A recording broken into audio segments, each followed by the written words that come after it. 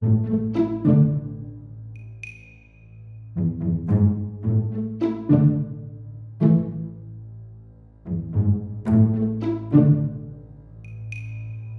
product I'm going to talk to you about is windshield washer fluid. And windshield washer fluid seems like a very simple fluid to add to your vehicle, but a lot of people don't pay attention when they buy it.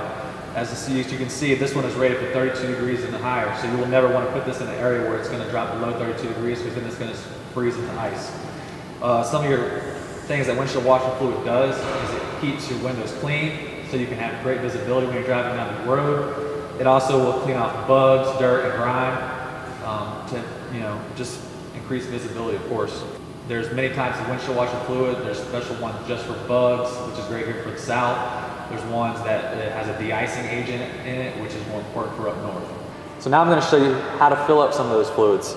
Most of your windshield washer fluid caps will always be labeled windshield washer fluid. So you're to, first thing you're to do is you're to pop it off and you're literally just to usually use a funnel and you're just to pour it straight in and there's no fill line on these. You just fill it to the top and then you close it